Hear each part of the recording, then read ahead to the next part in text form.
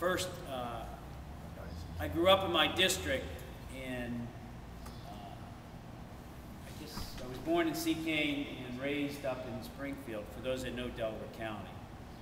A family of eight kids. My father had been an immigrant, came over from Czechoslovakia as a young boy with his father, who worked in Lukens Steel Mill in Coatesville. I know Coatesville like the back of my hand. Um, so we grew up. Uh, my father graduated during the Depression from high school, worked a year or two, then went off and got accepted to the Naval Academy, did World War II, both Atlantic and Pacific.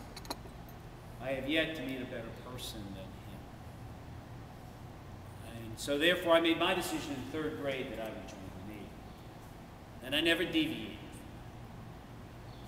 My mom, and they both still live, uh, became a teacher when the last kid went out uh, first grade in those Catholic school days where everybody, no matter it was first grade or high school, they all started at the same time and ended at the same time. She went out and taught math in high school and would come home as the first kid came. So I went off to the Naval Academy. It was 1970 Vietnam War, but I wanted to, without any question, continue to do what I wanted. Uh, I had chosen in life. I didn't quite think I'd stay as long as I did. And I only got out three years ago, one January three years ago.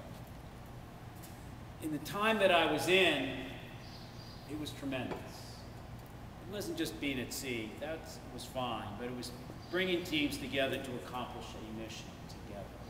I really loved the service because I always felt I was doing something that was serving a purpose. Everybody has reasons for doing things, but that was something I grew to like. Probably mostly from my pop and mom. I got to be President Clinton's Director for Defense Policy with White House. So I got to see the movement and decision making of national security policy from the executive branch perspective. I also got to lead men and women into harm's way. I had command of a small ship and a squadron ship and then this carrier battle group. It was 30 ships um, in the war in Afghanistan. Before the war in Afghanistan, before I took over command of that ship, I was director of the Navy's anti-terrorism unit. So I was on the ground for a short period of time near the beginning of the Afghanistan war. Um, I came out of Afghanistan and shortly thereafter took over command of that carrier battle group to continue the retaliatory strikes, having seen what it was like on the ground for a short mission that I had to do. I had a tremendous career. I did everything I wanted and set out to do, which was primarily just one thing. I wanted to command a ship. And then I got all that extra. I got married late in life, 47. I had a four-year-old daughter. Um, a few years, I had, four, had a child who was four years old when my only real significant personal challenge occurred. She was struck with a malignant brain tumor four years ago when she was the age of.